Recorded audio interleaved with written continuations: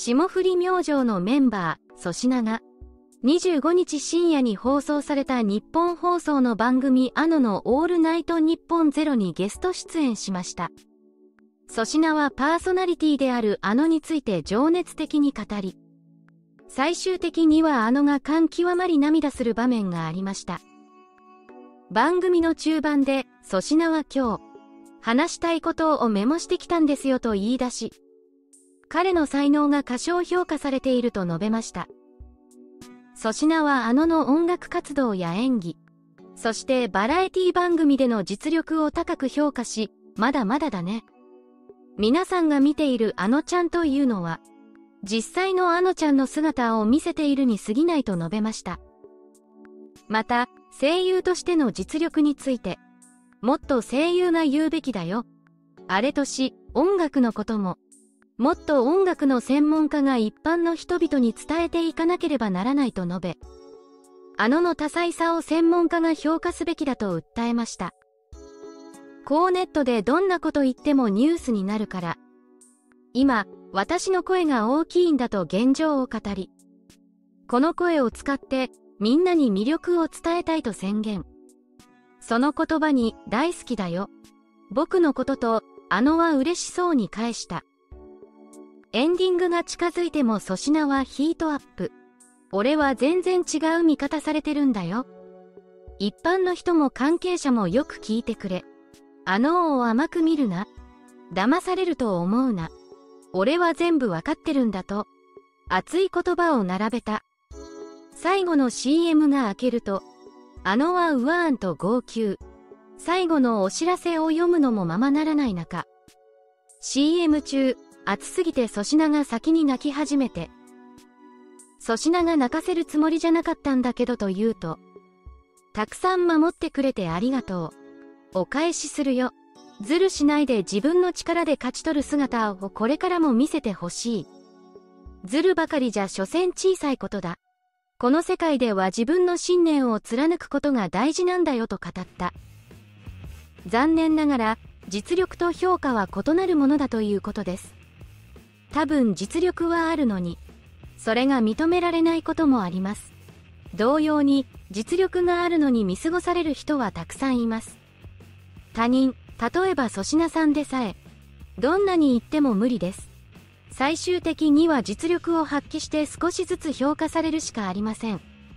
しかし、実力が評価されないこともあることを知ってください。ただし、実力がなければ評価されることはほとんどありません。だからこそ、自分を信じて努力するしかないと思います。声優の能力に対する評価を声優が言うべきだろ、あれ？というのは、ちょっとおかしくないですか？たとえそうであっても、その作品の監督が評価するのなら理解できますが、あの人は声優ではないので、声優が本職の俳優と同じ基準で彼女を評価することはできませんよね。当然のことです。批判するべき場所を間違えていますし、的外れです。過小評価されているという言葉だけを聞けば、その通りだと感じるかもしれない。しかし、評価とは他人が与えるものであり、特に押し付けるものではない。ラジオを聴いていると、おそらく言いたいことは、表面的な情報だけで本質を見失った記事や、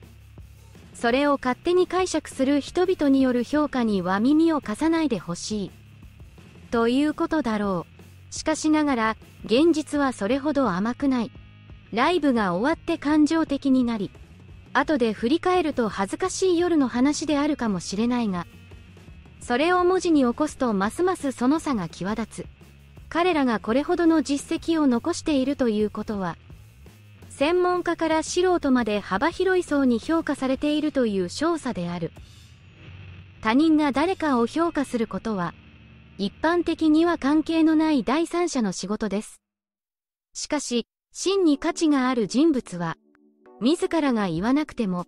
周囲の人々がその素晴らしさや魅力、卓越性を自然に称賛し、誇りに思います。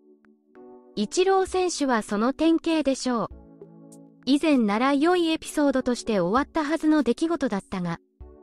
最近、粗品の行動がどうにもおかしな方向に向かってしまい、気分が悪くなってしまった。あのちゃんが嫌いというわけではないが、今の状況では、タレント業界的に粗品と結びついていることは、損害しか生じないと考える。所属事務所もこの二人の関係に頭を抱えていることだろう。本当にただの友達なの、という点で、本人たちもファンも楽しんでいた時期があったと思うが、今後は以前のように見ることができなくなってしまった。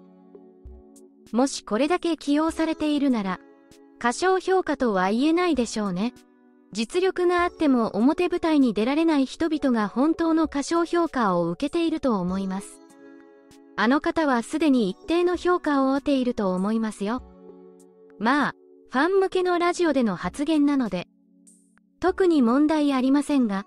テレビで同じことがされると逆効果ですね。判断するのは他の多くの人たちですからね。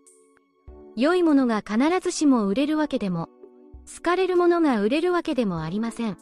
時には悪いものや嫌われるものが売れることもありますし、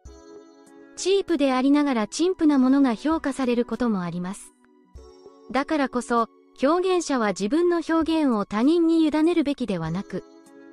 表現を続けたいのであれば、生活費を稼ぐために別の手段を考えるべきだと思います。まず言っておくが、私は粗品さんの発言に対してコメントするだけであり、あのちゃんを批判するつもりはありません。まず、声優としての実力を評価することについて、もっと声優が言うべきだろう。あれとか、もっと音楽のすごい人が、あのちゃんの音楽を一般の人に伝えないとというのはかなり奇妙な論理だ。評価するのは映画を見た人やあのちゃんの歌を聴いた人であり、専門家の評価は別問題です。なぜ声優や大物アーティストやプロデューサーなどが、無理してあのちゃんを評価して一般の人に伝えなければならないのか、本当に理解できません。番組などで質問があれば、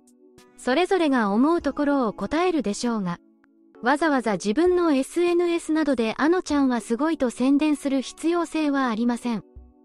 ファンがあのちゃんは声優も演技が上手いなとか歌が良いと感じればそれで十分ではないでしょうか。誰を侮辱しているのかな？声優について言及していることから、聴衆ではなく業界やテレビ視聴者全体を指しているのかもしれませんね。好きな人が嫌いで、私の好きな人が他人に嫌われることが理解できないのかな？業界内での結束力が非常に強いですね。マスメディアは特に、あの人と粗品についてのニュースを好んで報道するようです。